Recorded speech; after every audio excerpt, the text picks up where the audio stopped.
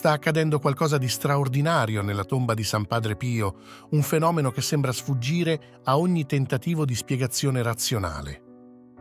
Vi invitiamo a restare con noi fino alla fine di questo video per scoprire un miracolo che vi lascerà senza parole.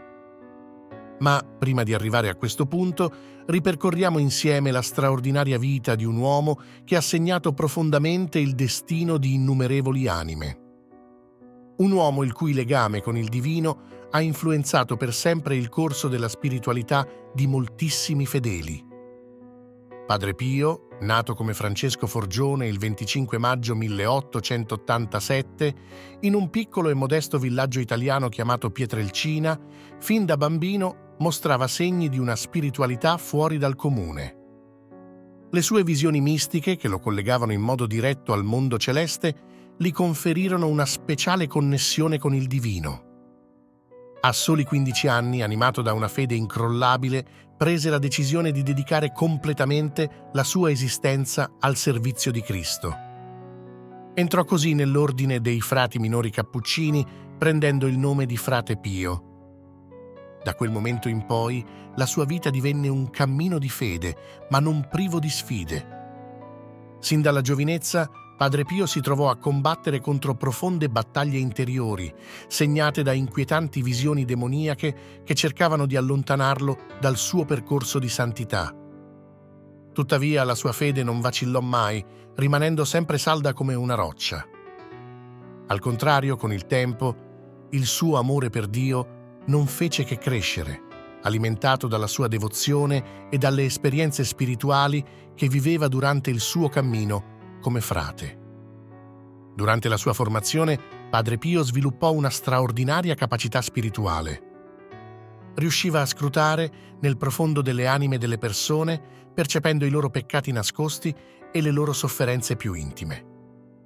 Questa dote, unita a una profonda empatia, lo rese un confessore estremamente ricercato. Gente da ogni angolo d'Italia e del mondo intraprendeva lunghi viaggi solo per poter confessarsi con lui, sperando di ricevere da lui un consiglio divino e di trovare finalmente sollievo per le proprie anime tormentate. Ma ciò che rese davvero unico e venerato Padre Pio fu il dono delle stimmate. Nel settembre del 1918, mentre era immerso nella preghiera davanti a un crocifisso, ricevette sul proprio corpo le ferite di Cristo, che portò per il resto della sua vita. Le stimmate non erano semplicemente segni esteriori della passione di Cristo, ma anche una fonte di dolore fisico e spirituale immenso che Padre Pio sopportava in silenzio, offrendo ogni sua sofferenza per la conversione dei peccatori e la salvezza delle anime. Questa straordinaria unione con la passione di Cristo trasformò Padre Pio in un simbolo vivente di fede, sacrificio e devozione incrollabile. Per 50 anni portò sul suo corpo le stigmate, i segni visibili della sua intima connessione con la sofferenza di Cristo. Ma il suo sacrificio non si limitava a queste ferite. La sua capacità di leggere nel profondo dei cuori umani e di riportare la luce nelle vite più oscure gli valse il soprannome di confessore del mondo. Nessuno poteva resistere alla sua capacità di comprendere le più intime sofferenze spirituali e in poco tempo la sua fama si diffuse ovunque. Il piccolo monastero di San Giovanni Rotondo, dove risiedeva, si trasformò in una meta di pellegrinaggio continuo, attirando migliaia di persone alla ricerca di una guida spirituale o di un miracolo. Nonostante la sua crescente popolarità, la vita di Padre Pio non fu priva di tribolazioni. Spesso fu oggetto di critiche, sospetti e accuse. Anche all'interno della Chiesa vi furono voci che mettevano in dubbio l'autenticità delle sue stimmate, con alcuni che lo accusavano di simularle. Diversi cercarono di screditarlo, ma nonostante le prove, Padre Pio rimase saldo nella sua fede.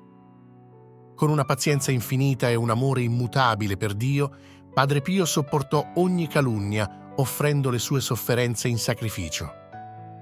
Il 23 settembre del 1968 Padre Pio lasciò questo mondo terreno. Tuttavia, anche dopo la sua morte, la sua influenza continuò a crescere.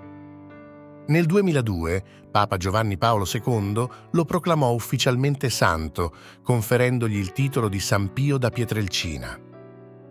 La sua tomba, situata a San Giovanni Rotondo, divenne immediatamente un luogo di culto e pellegrinaggio, accogliendo milioni di persone alla ricerca di speranza, guarigione e conforto spirituale. Ma ciò che sta accadendo oggi presso la sua tomba ha un che di ancora più straordinario. Negli ultimi anni, un numero sempre maggiore di pellegrini ha testimoniato esperienze che sfidano la comprensione razionale. Molti di loro affermano di sentire una presenza divina, un'energia inspiegabile che sembra superare le barriere del mondo fisico. Alcuni raccontano di essere stati guariti da malattie considerate incurabili, mentre altri riportano miracoli che non possono essere spiegati dalla scienza.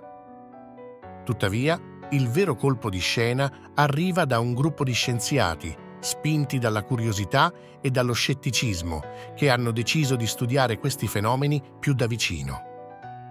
Hanno esaminato un frammento di tessuto delle bende che erano state poste sulle stimmate di Padre Pio e ciò che hanno scoperto ha lasciato tutti increduli. Questo pezzo di stoffa, pur essendo vecchio di decenni, emanava un profumo dolcissimo e inspiegabile, senza alcuna spiegazione naturale plausibile. Nonostante i tentativi di trovare una risposta scientifica a questo mistero, le teorie avanzate rimangono vaghe e prive di fondamento, lasciando tutti ancora una volta meravigliati di fronte all'inspiegabile. Per molti credenti non ci sono dubbi, quello che accade è un segno tangibile e inequivocabile della santità di Padre Pio, della sua continua intercessione e della presenza divina che, attraverso di lui, continua a manifestarsi nel mondo. Tuttavia, non è solo il misterioso tessuto delle bende a sfidare le leggi della natura. Esistono innumerevoli testimonianze di fedeli che, pregando presso la tomba di San Padre Pio, hanno visto le loro preghiere esaudite in modi miracolosi. Ci sono racconti di persone gravemente malate, spesso in stadi terminali, che improvvisamente guariscono senza alcuna spiegazione medica. Storie di individui che, dopo anni di dubbio o lontananza dalla fede, ritrovano una nuova e profonda connessione con Dio, oppure casi di conversioni fulminee di chi era totalmente distaccato dalla Chiesa. Questi eventi ci ricordano che il potere di Dio è vivo e operante anche oggi attraverso i suoi santi e che la fede è una forza potente e vitale, capace di trasformare le nostre esistenze in modi che sfidano la comprensione umana. La storia di Padre Pio ci insegna una lezione importante. La fede è in grado di superare i confini del tempo e dello spazio. Sebbene viviamo in un'epoca in cui la scienza tenta di fornire una spiegazione razionale a tutto, ci sono ancora eventi che sfuggono a ogni logica e ci richiamano all'esistenza di un piano superiore, di una realtà divina che guida le nostre vite. Ma quale insegnamento possiamo trarre da tutto questo? La vera felicità non si trova nei successi materiali, ma nel mettere Dio al centro della nostra vita, così come fece Padre Pio. La sua vita è un esempio straordinario di come la fede, il sacrificio e l'amore incondizionato possano illuminare il mondo, portando speranza laddove c'è disperazione e luce dove regna il buio. Riflettendo sulla vita eccezionale di San Padre Pio, dovremmo lasciarci ispirare dal suo cammino e impegnarci a vivere una vita di fede sincera e di servizio agli altri. La sua storia ci ricorda che anche nelle difficoltà più grandi possiamo trovare conforto e forza nell'amore di Dio.